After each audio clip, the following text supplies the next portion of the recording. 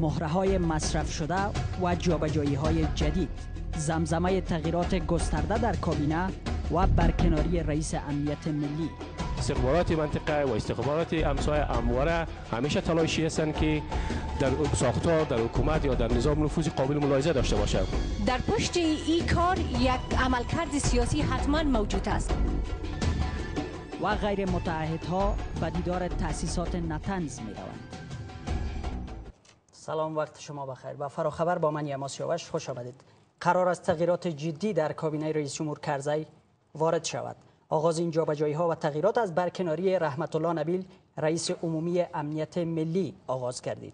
بر پای گزارش های تایید ناشده بسم الله محمدی سرپرست وزارت داخله به وزارت دفاع ملی مجتبی پتنگ به وزارت امور داخله اسدالله خالد وزیر سرحدات و قبایل به ریاست عمومی امنیت ملی غلام جیلانی پوپل به ریاست مستقل ارگانهای محل عبدالکریم خورم رئیس دفتر رئیس جمهور به ریاست مستقل کمیسیون انتخابات فضل احمد معنوی به دادگاه عالی و یا دادستانی کل ابراهیم اسپینزاده به, دفتر به ریاست دفتر رئیس جمهور و عارف نورزی به وزارت سرحدات و قبایل معرفی خواهند شد.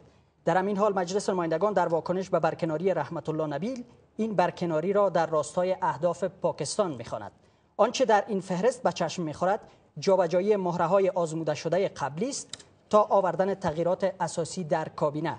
در وضعیت کنونی این جابجایی ها با چه اهدافی انجام می شود در پشت این کار یک عملکرد سیاسی حتما موجود است. اما بسیار متاثر هستم که ای عملکرد عملکرد سیاست های داخلی افغانستان نیست که بر موضوعات ملیتی باشه. اگر در اینجا عمل کرده است ما به این ترس دارم که سیاست های مسلط آمیز افغانستان از مرزهایش بیرون شده بر کشورهای همسایه نرفته باشه. عبدالودود پیمان و عظیم محسنی از نمایندگان مجلس برای بحث بیشتر با ما هستند. مهمانان عزیز خیلی خوش آمدید. آقای پیمان با چه اهدافی واقعا این تغییرات صورت می‌گیره بر کناری رئیس امنیت ملی و این فهرستی که حالا منتشر شده؟ بسم الله الرحمن الرحیم. با جواب سوال شما عرض کنم که اقدام خو پارلمان شروع کرد پیش از رئیس جمهور. اگرچه که توجیه درست و معقول نبود که چیزایی را که پیش کردن و به او علت دو وزیر استضا کردن جایش نبود. به خاطر در قانون اساسی در همچو قضایایی که در کنر بهانه شد بر رفتن دو وزیر سرقماندان اعلی نفر اول مملکت وظیفه داشت که باید به اینا هدایت می‌داد. بعد اگر کفایت کاری در جبهه نشان نمی‌دادن حق پارلمان بود که اینا را استضا می‌کردن. یک گپ و نظر ما گپ پارلمان بیشتر گپای شخصی و اکثرا و تغییرات که قرار است رئیس جمهور وارد بکنه و آقای رحمت الله نبیل رئیس عمومی امنیت ملی را از وظیفه برکنار کردن. اینا فکر می‌کنید با چه اهدافی صورت گرفت با آن همه که ما از تیم رئیس جمهور نیستم. شما همیشه می‌بینین که از جمله نفرای هستیم که انتقاد داریم بیشتر. ولی فکر می‌کنم که بخش امنیت یک قسمت ممکن گپایی باشه که پشت پرده ما در جریان نباشیم بیشتر گپای امنیتی و استخباراتی او قدر علنی نمی باشه به هر وجه بعضی دوستا تحلیل های داشتن امروز فکر می‌کنن که تفاهمات که ما بین رئیس جمهور و پاکستان است و اینا ای, ای, ای رئیس امنیت هم تقریبا موضع سرسختانه داشت در برابر پاکستان و اگر نه از طریق پارلمان شما دیدین که رای بسیار خوب داشت و تا در مسئله بحث امنیتی هم که وقت و وقت سر صدا در پارلمان شد آقای نبیل نامش در جریان نبود ما فکر می‌کنم که جریانات استخباراتی یک قسمت بیشش برای مردم معلوم نیست که مربوط رئیس جمهور میشه. خدا کنه که منفعت مردم ملت افغانستان در نظر گرفته. حالا در مورد این فهرست بلند بالایی که قرار است تغییرات وارد شود در کابینه و ریاست های مستقل. خوب است. ما یک قسمت از شناخت که کابینه نو دارم. مردم هستند که در گذشته ها هم یک تعدادش از جمله دوست هستند مثلا به طور مثال بسم الله خان. آدمی است که از اول ما طرفدار آمدنش به وزارت داخله نبودیم. در خود مجلس نمایندگان که آقای محمدی را سلب صلاحیت کرد. شما از ما سوال می‌کنین از مجلس نمایندگان شخص خود ما ولی شما هم عضو مجلس هستین. عضو مجلس هست ولی نظرم است که بسم الله خان آدم نظامی است. ریشه در جبهات جنگ از زمان روسا به طرف سفید کرده و در وقت طالبا هم بسیار خوب موفق از وظایف خود در سمت کودمان شمالی برآمده. و در درایت و کفایت و نظارت بر قطعات و رفتن به صفحات جبهات آدم بسیار چیز است پرکار است. آقای محسنی شما چی فکر می‌کنید که این تغییراتی که حالا قرار است در کابینه رئیس جمهور بیایه و برکناری آقای نبیل با چه اهداف واقعا انجام شده؟ تشکر. سلام عرض ادب دارم خدمت شما و بیننده های عزیز تلویزیون تلونیوز ببینن تغییراتی را که رئیس جمهور میره یکی از صلاحیت های وظیفویش است که ما دی حرفی نداریم صرفی که در مورد رئیس عمومی امنیت ملی که چرا تصمیمی بسیار عجولانه گرفته میشه خود سوال برانگیز است به خاطر از که این شخصی بود که در بخش امنیتی خاصی جناب رئیس جمهور ای وظیفه داشت ایفای وظیفه می‌کردن و شخص خیلی ها نزدیک به رئیس جمهور بود. ای که به خاطر دستاوردهای بیشتری که می‌تونست که جلوی انتحار را بگیره جلوی عملات افغانی دشمنای مردم افغانستان را بگیره فعالیت های بسیار خوبی داشت در مدت وقت یعنی مدت وقت زمان کوتاهی که یا به این پست گماشته شدن دست های خیلی ها خوبی داشت که شما هم از طریق در جریان هستین خوب. پس با این حساب میشه گفت که دست های در کار بوده برای کنار زدن آقای نبیل؟ میشه به این بگیم که بله شاید فشاری بالای رئیس جمهور بوده از کجا؟ میشه این از خودشون سوال بکنین به خاطر از اینکه خب شخص خیلی نزدیک برای بله برداشت ما می است که برداشت شما چی است؟ که چی دستهایی می‌تونه بالای رئیس جمهور فشار وارد بکنه؟ حتی مطرح شد در مجلس نمایندگان امروز که اهداف همسو با اهداف پاکستان می‌تونه مطرح باشه در این برکناری. ببینید این شکی نیست. همیشه پاکستان نسبت به مردم افغانستان کشور افغانستان دیدی مثبت خوبی نداشتن و باز هم ندارن. انجینر نبیل یک شخصی فعال و یک شخصی که واقعا با یک فکر ملی با یک انگیزه وطن دوستی که بسیار عاشقانه می‌خواست که برای وطن خدمت بکند بالخصوص در بخش امنیت. این تصمیمی که در موردش گرفته شده این تصمیم از ما نمی‌خوایم که ما به نمایندگی از یکی از اعضای کابینه مثلا اینجا ما نمایندگی بکنم. آنچه که واقعیتی که وجود داره می‌خوایم که آن واقعیت هایی که وجود داره او را ما بگویم ایتون نیست که در تمامی کابینه حکومت هیچ تمامی از این کسانی هستند که ضعیف هستند ناتوان هستند. هستند. تعداد کمی که اونا توانایی دارند درایت دارند. ما به این عقیده هستم که رئیس جمهور انسان های شخصیت های خوبی که توانایی دارند ظرفیت دارند اونا را زمینه برش مساعد نمی‌کنه به خاطر که شخص خود رئیس جمهور یک آدم ضعیف است.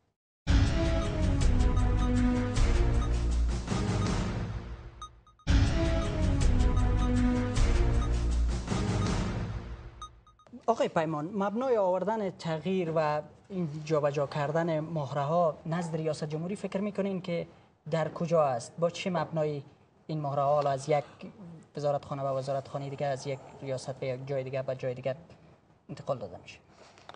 خب به هر طوری که دیدگاه مردم و دیدگاه پارلمان در داخل کابینه هم اونا هم دیدگاه خود دارن رئیس شخص رئیس جمهور و کابینه. ولی یک چیزی که آقای موسینی کو به تاکید قول از اینا بگیم که امی امرالله خان در گذشته و نبیل واقعا آدمای بسیار سختگیر و سخت کوشی بودن. و هر دو آدم ملی و دلسوز به وطن بودن. خب رای هم داشت از طریق پارلمان. بحث انتقاد نسبت به او وجود نداشت. گرچه کسی هم که پیشنهاد کردین آقای خالد از جمله دوستای ما از جمله مجاهد است. آدم خوب است خدا کنه که رای بگیره و موفق شود در وظیفه بعدیش. ما فکر می‌کنم که آقای نبیل سختگیری زیاد داشت در برابر طالبان قسمی که آقای امرالله قربانی شد احتمال داره که امی موضوع سختی که در برابر طالبان داشت و بعض بعضی طالبان حلقاتی که با رئیس جمهور در تماس هستند اونا همیشه از امنیت مینالن چون دستگیری ها و یک مثلا در با رئیس جمهور از کدام حلقات طالبان اینقدر تاثیر گذاری دارن که حالا رئیس امنیت ملی رئیس جمهور خب رئیس جمهور با بعضی از حلقات طالبان در ارتباط است. و به او همیشه وعده میدن با نمی‌کنن که نک فلان وزیر تور کرده فلان رئیس تور می‌کنه. اگه این نباشه ما یک قدم پیش میم چون اکثر بگیر و ببند و گرفتاری ها و شکنجه و بندی مربوط ریاست امنیت میشه. طالبا یک چند آدمی که فعلا با رئیس جمهور در تماس هستن من فکر می‌کنم که در تبدیل موره های مثل ریاست امنیت نقش بسیار عمده طالبا دارن. بیش از پاکستان ولی این تاثیر این جابجایی ها چی می‌تونه باشه روی وضعیت کنینی در این وضعیتی که خب. قرار داره افغانستان؟ خب وقتی که نارضایتی از طرف پارلمان یا از طرف مردم که دفعتا رئیس جمهور هم در یک عمل انجام شده پارلمان قرار گرفت. ما فکر می‌کنیم که رئیس جمهور فعلا اقدامی نداشت آرام بود. ولی وقتی که پارلمان در بحث امنیتی بسیار پافشاری کردن و دو وزیر بردن و مسئله بحث ریاست امنیت هم تا جای موضوع بود بحث بود که بعد او را خارج کردن است. داخل اجندای مجلس منتها فکری که ما دارم به این تغییرات است که اگر آقای مجتبی پتنگ هم بیا به حساب وزیر داخله پلیس مسلکی است. جای بحث نیست آدم بسیار موفق آدم است. نه گذشته قماندانی هم نبوده رئیس زون بوده در مراکزی که وظیفه انجام داده آدم موفق است. ما آدمایی که فعلا آمدین در مورد یکی دو نفرش کم و بیش یک بدگمانی دارم دیگه. در مورد کی ها نمی‌خوایم بگیم. خب به خاطر از که او قضاوت در وقت تصمیم گیری خودم از در پارلمان وقت رای گیری میشه. منتها ما بیش... خب سوال این بود که چه تاثیر مگذاره این جابجایی ها در وضعیت کنونی وضعیت امنیتی؟ وضعیت کنونی در یک دو قسمت که من می‌بینم تاثیر می‌گذاره. مثلا چه تاثیری مثلا وزارت دفاع. وزارت دفاع بسم الله خان از جمله بنیانگذارای اردوی جدید بود. بسیار خوب شناخت داره از خردترین سرباز تا با هم افسرا. چه از جنگ های گذشته چه در دورانی که لوی درستیز بوده در وزارت دفاع. دیگه به فکر ما اگر شما هم این گپ مبالغه نیست. نه تنها از ما از قطعات مختلف در مجموع این یک یک فهرست بلند بالایی هست. در مجموع اگر این تغییرات وارد شود فکر می‌کنین که این چگونه خواهد ساخت وضعیت را حالا سوال اینجا بود این گپی است که واقعا تغییرات هر چی که باشه تا حدی که یک وزیر نو میه یک تلاش می‌کنه. از اینکه دوامدار باشن در یک وزارت به نظر ما قدم خوب است. اگر رئیس جمهور هم چه اقدامی در وضع دیگر ریاست ها و ارگان هم بگیره گپ بد نیست. فکر می‌کنین آقای محسنی که نیت اصلاحات در کار از برای آوردن این تغییرات یا واقعا یک بازی سیاسی؟ ما به یه عقیده هستم که در حقیقت نیت اصلاحات در این نظام اصلا وجود نداره. به خاطر از اینکه ولی پس به چی هدف این پست ها عوض میشن؟ ببینین شب ممکن انتخابات نزدیک باشه بعضی موضوعات سیاسی کلان دیگه. بحثی کلان در اینجاست که وقت زمانی که نظام از سر خراب است. مبتلا به فساد است. شما بهتر می‌بینید که مردم فاصله گرفته از حکومت. همیشه بیعدالتی حق تلفی فساد اداری این خود که مثال تعیناتی که او به اساس ضوابط نه بلکه به اساس روابط ایجاد تعینات صورت می‌گیرد چی در کابینه است یا چی در پست های عادی این نظام است این خود نمایانگر ازی است که عدالت تامین نمیشه. بنا در اینجا فکر می‌کنم که تا این سالهایی که گذشت و مدت کوتاه زمانی رم که باقی مانده این تغییرات ها در نه در بخش امنیتی کدام تغییراتی نخواهد آورد و مردم افغانستان هم انتظار نخواهد داشت. حالا پس چرا این تغییرات وارد میشه؟ در پشت صحنه چه جریان داره به چه هدفی این چنین تغییراتی میره ببینین حالا به شما بهتر شما پیشتر مطرح کردین انتخابات ریاست جمهوری سال 2014 این مسائل واقعا در کار هست ببینین یک یکی از مسائل یکی از این موضوعات شاید امی باشه. موضوع دیگه ای که وقت زمانی که یا تصمیمی که می‌گیرن به ارتباط از اینکه جابجایی هایی را که بسیار کوتاه مدت. شما دیدین در طول بیش از چند سال است که در دادستانی کل تا به صفت سرپرست در اونجا ایفای وظیفه می‌کنن که خود خلاف قانون است. و رئیس جمهور هم به مسئولیت داره مطابق به قانون اساسی که اینا باید مطابق به مو احکام قانون اساسی باید یا عمل بکنن. که بیش از دو سال یا به صفت سرپرست نگاه کردن.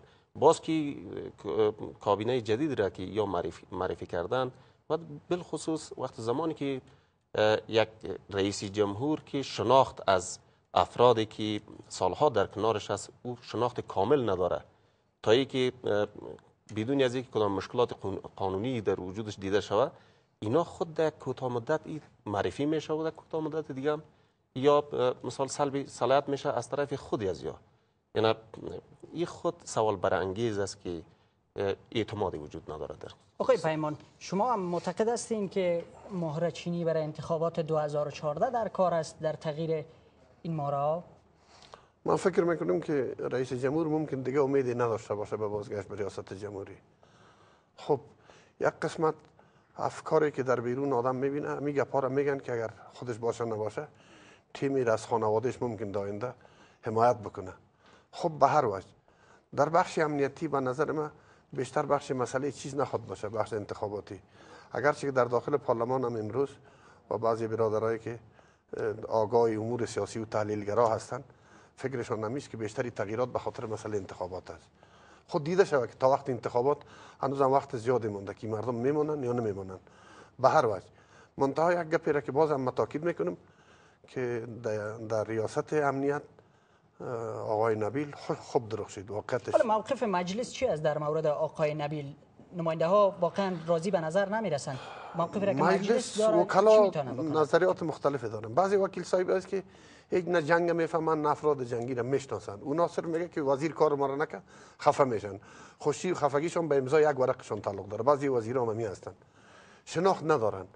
و به فکر ما در بحث مسئله امنیت و ریاست امنیت وزارت دفاع به این افراد به کار است که خبیر با تجربه کادرای نظامی باشن که اینا بفهمن که جنگ چیست ترابله چیست تحرک چیست پیشرفت و آتش چیز مثلا انداخت چیست. این مسائل جنگی را باید بفهمن به به مسائل جنگی وارد باشن و می‌تونن صاحب نظر باشن نظر بدن. فکر می‌کنم من که در داخل پارلمان می‌بینم بیشترین وکیلایی که مثلا در مورد وزیر داخله گپ داشتن کلش گپای شخصی خودشون بود. خب چرا یا در کنار وضعیت پاکستان مداخله می‌کنه وزارت دفاع به طرف مونده چرا؟ این گپایی بود که توجیه نداشت. و فکر بعدی وکیلا که هنوز گپ نوست امروز برای ما تا سبا پس سبا میشه که با در موردش اگر از ما درخواست دی به میز شما بیم به معلومات کلی بیم فعلا نقدر معلومات ندارم که. آقای موسیقی رئیس جمهور در نشست با سقوا در حضور نماینده های مجلس گفت که دیگه گرایی را کنار می‌گذاره. این فکر می‌کنین که در راستای همون کنار گذاشتن گرایی است و یا این فهرست را شما ببینین؟ اکثر افرادی هستند که خوب کار کردن در این ده سال گذشته با رئیس جمهور به گونه کار کردن و تغییر نامدان چنانی ببینید گرایی بر رئیس جمهور یک عادت شده. در خون یزیگت خورده. هیچ وقت این آدم نمی‌تونه که از این بیرون بکشه پای خود را. به چه دلیل؟ آیا خودش نمی‌خواد یا نمی‌تونه؟ ببینیم. به این دلیلی که خودی از یا تا به انس یک خطوط اساسی را که باید ای در شروع ریاست جمهوریش باید مشخصا روان می‌کرد در بولسی جرگه و او رای تایید می‌گرفت یا یکی چی میشه تا به انس یمی توانایی یمی ظرفیت در این نظام وجود نداشته که یک خطوط اساسی را روان می‌کردن. مطابق با نمو خطوط اساسیش رئیس جمهور باید در همه بخشایش پیش، پیشگیری می‌کرد. تمام آمادگی ها را باید می داشت مطابق با همو عمل می‌کرد. متاسفانه تا به حال او خطوط اساسی از ولسی جرگه رای نگرفته رای اعتماد نگرفته. بی برنامگی خود باعث این مشکلات ها میشه. سپاسگزارم. با سپاس از عبدالودود پیمان و عظیم محسنی از نمایندگان مجلس. و رئیس جمهور کرزی در دیدار با بزرگان ولایت کنر گفته است حکومت افغانستان دست به حمله متقابل نمی‌زند در برابر حملات موشکی پاکستان. آقای کرزی گفته در رابطه با حملات موشکی پاکستان با مقام های پاکستانی و جامعه جهانی در تماس است. رئیس جمهور کرزی در دیدار با بزرگان ولایت کنر گفته حکومت افغانستان ایجگاه دست به اقدامی نمی‌زند که مردم ملکی در آن سوی خط دیورند ضرر ببینند. به این دلیل که مردمان آن سوی خط دیورند نیز برادران و خواهران ما هستند و ما نمی‌خواهیم با آنها ضرر برسد. رئیس جمهور در حال حمله متقابل بر پاکستان را رد می کند که مردم ولایت کنر در برابر حملات موشکی پاکستان اعلام جهاد نمودند. نمایندگان ولایت کنر در همین حال خواستار کمک به مردمی که به دلیل حملات موشکی پاکستان آواره شده و مهاجرانی که از پاکستان به کنر آمدند شدند. و رئیس جمهوری ایران مجوز بازدید اعضای جنبش غیر متحدها را از تأسیسات غنیسازی اورانیم در نتنز صادر کرده است. علی اکبر سالی وزیر امور خارجه ایران گفته که اشتراک کنندگان نشست تهران می توانند از تأسیسات نتنز بازدید کنند و مشکلی در این زمینه وجود ندارد. 16 همین نشست کشورهای عضو جنبش غیر متحدها در حال حاضر در تهران برگزار است. در حال حاضر به گفته مقام های اتمی ایران بیشترین فعالیت های غنیسازی ایران به مجتمع فردو منتقل شده است. ایران اجازه بازدید از تأسیسات اتمیش را نشان دهنده شفافیت در اهداف صلحآمیز این کشور می‌خواند. مقام های ایران از باز بازدید بانکیمون دبیر کل سازمان ملل هم از تأسیسات نتنز گفتند اما یک سخنگوی دبیر کل سازمان ملل گفته دبیر کل برنامه‌ای برای دیدار از تأسیسات اتمی ندارد. قرار قرار است روز پنجشنبه و جمعه اجلاس سران غیر متحدها در تهران برگزار شود. در این اجلاس محمد مرسی رئیس جمهوری مصر ریاست دوره این جنبش را برای سه سال آینده به ایران واگذار می کند حامد کرزی رئیس جمهور افغانستان نیز به خاطر شرکت در اجلاس سران غیر متحدها بعد تهران رفته است. سپاسگزارم از همراهی شما. خدا نگهدار.